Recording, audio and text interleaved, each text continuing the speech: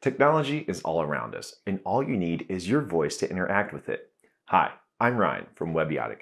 In this video, we'll review the changing landscape of voice app development and how you can tap into voice technology for your own mobile app.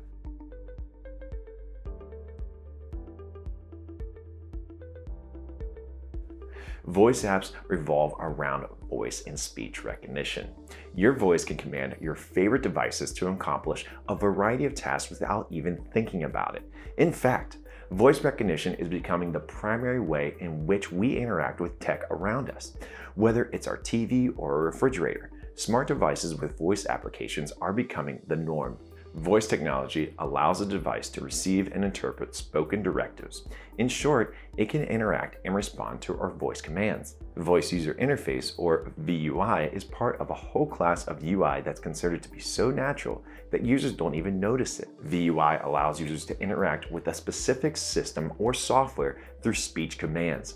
Prime examples of VUI include Alexa, Siri, and Google Assistant. These are incredibly popular because they allow for a hands-free and eye-free way to interact with devices. This is a completely different user interface than what people are accustomed to when using regular mobile apps which often stick with a standardized set of guidelines that feels natural and intuitive for users. When creating a voice app, you can't apply these design principles. It's simply impossible with VUI, there aren't any visual components like there are with mobile apps, which have navigation menus, images, buttons, and so on.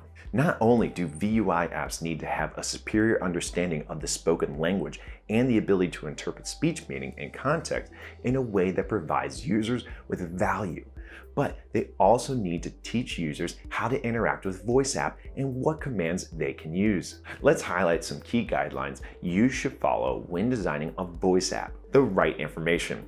With a mobile app, you can display various options to users through the graphical user interface but this isn't possible with a voice interface. With a voice app, you never want to bombard users with all the information about your app you need to decide what information is most important to get them to use the voice technology. Provide users with key options for voice interaction. For example, a weather app might say something like, you can ask for the weather forecast today, or you can ask for a weekly weather forecast. Let users know where they are. You've probably noticed that when you ask a voice interface a question like, what's the weather like today? It won't answer 80% chance of rain it'll answer, today's weather forecast shows an 80% chance of rain. As you can see, the interface reiterates the question so a user understands the exact functionality they're using. Remember, there's no visual guidance when it comes to voice interaction, so getting lost can happen easily. It's crucial to always inform what user functionality they're using and how to exit it. Use visual feedback. There's nothing more frustrating than speaking when no one is listening.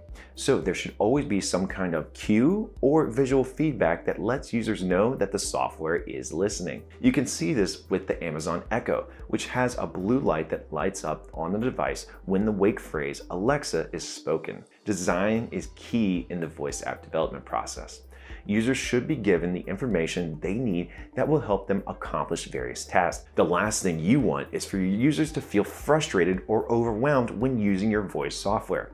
So design your app with care. I hope you learned something today about how to design a voice app. For more help with your app, subscribe to our channel. If you like this video, please like it and share it with others. Thank you for watching.